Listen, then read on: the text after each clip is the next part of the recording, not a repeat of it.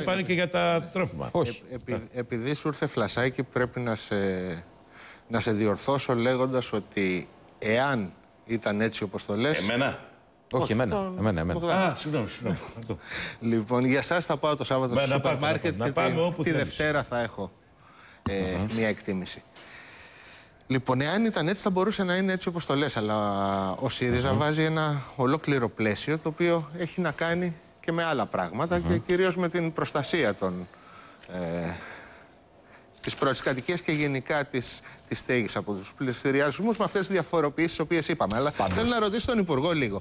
Ε, εσείς πιστεύετε ότι το να πέφτουν οι τιμές λίγο και να πέφτουν και οι μισθοί λίγο περισσότερο ή έστω ότι πέφτουν το ίδιο; όσο Περισσότερο πέφτουν. μισθοί Οκ. πέφτουν από τις τιμές. Ωραία. Για να είμαστε ειλικρινείς. Μ- Μας οδηγεί κάπου αυτό.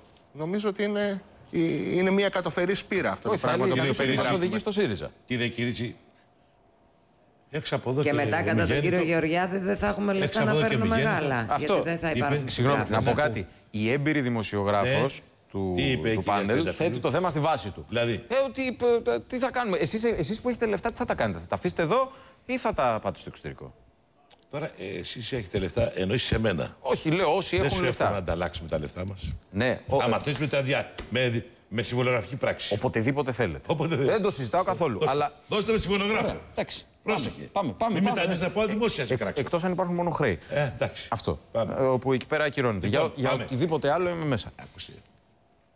Ποιο είναι το πρόβλημά σας; Ε, το πρόβλημα είναι ότι μπαίνουμε σε μια κινδυνολογία η οποία χάνει την Τι ουσία του είπε η θέματος. Κοινολογία. Χάνει την ουσία του θέματος. Εντάξει, άκουσε. Αυτή ήταν η προσωπική άποψη του Γεωργιάδη.